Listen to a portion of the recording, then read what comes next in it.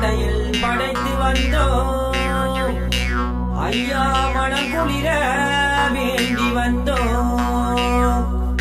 படையில் படைத்து வந்தோம். அப்பா மனம் குளிர வேண்டி வந்தோம்.